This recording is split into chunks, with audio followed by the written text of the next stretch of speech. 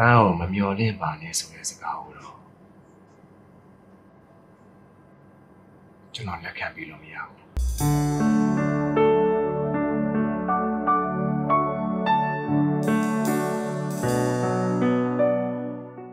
စကားကိုကုံကုံပြောလိုက်တော့မယ်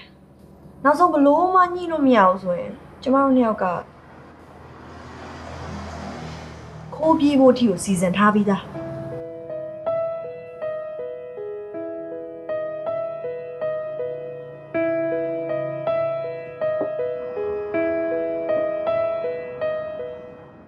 ပြောတာရှင်နားထောင်နေရလားယင်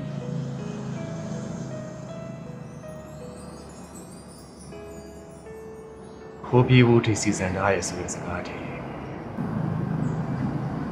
ကျွန်တော်နားထောင်နေပါတယ်အဲ့တော့ကျမပြောချင်တာကကျမကိုလုံးဝဆက်ပြီးတော့မမျောလင့်ဖို့ဟုတ်ပြီလား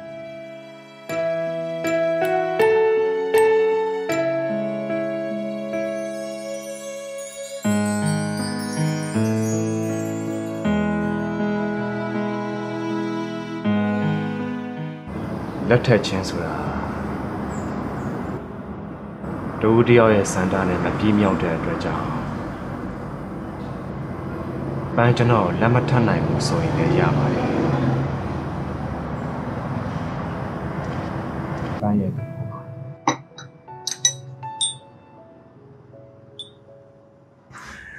ကျွန်တော်လည်းကျွန်တော်ကကျွန်တော်အစဉ်ပြေအောင်ကြိုးစားပြီးတော့နေလို့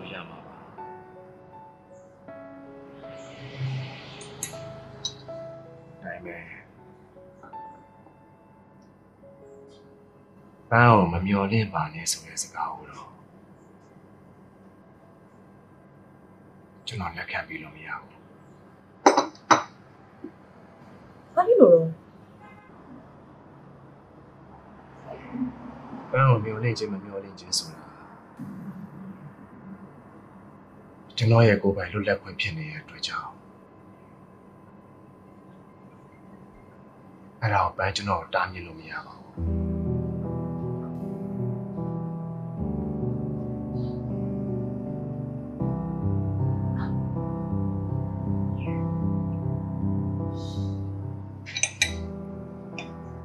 ကျွန်တော်တို့နှစ်ယောက်ရဲ့ကိစ္စကို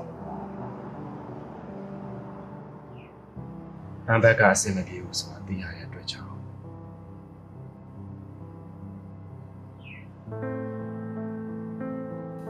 ဒီညနဲ့မာမီကိုရှေ့ဆက်မစီစဉ်ဘူးကျွန်တော်ပြောလိုက်ပါမယ်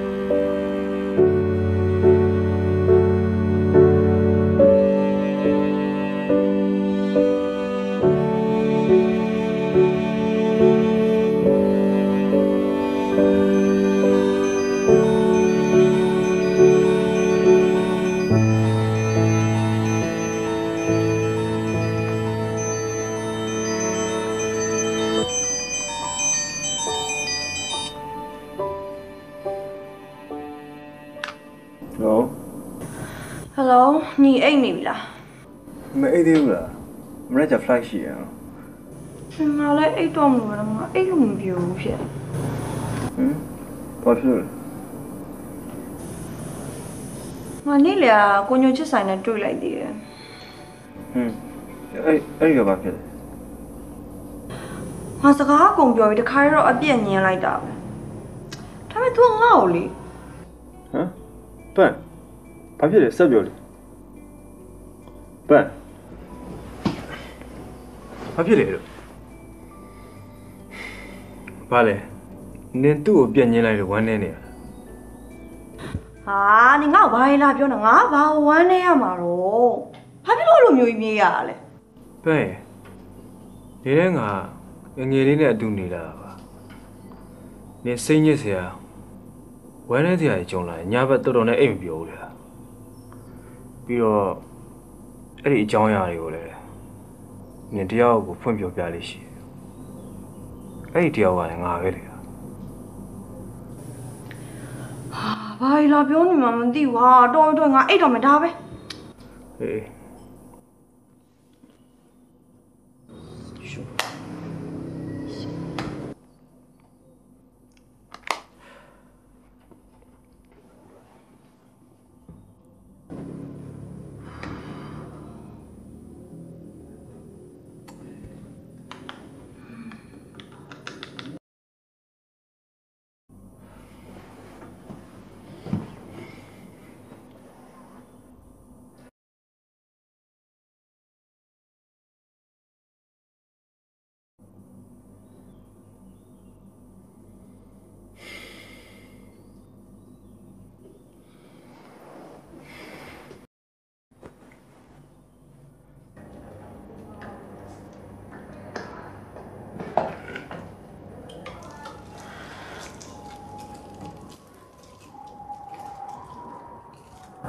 မီးမျက်နှာလည်းမကောင်းပါဘူးဘာဖြစ်လို့လဲဘာမှဖြစ်ပါဦးမင်းသမီးညနဲ့အေးအေးလေးပြက်တာခေါင်းကိုက်နေလို့လားသမီးဟုတ်မကြိုက်ပါဘူးမမေရဲ့သမီးညအေးအေးနဲ့ပြက်ထားလို့ခေါင်းကိုက်နေတယ်ဆိုရင်လေလူကြီးကိုနည်းနည်းပါးပါးပြောပြီး flight မတက်ဘဲနေလို့ရရင်နေလိုက်နော်ဟုတ်ရရဲမမေရဲ့မမနဲ့ဖုန်းရသေးလားမမေဟိုရတယ်သမီးသူတို့ကတော့ပြောလို့ မောင်မျိုးဟန်လေလေသမီးအမအောင်တော်တော်ဂရုစိုက်တယ်ဆိုပဲအော်သူတို့ဘယ်တော့ပြန်လာမလဲအဲ့ဒါတော့မမေကိုမပြောသေးဘူး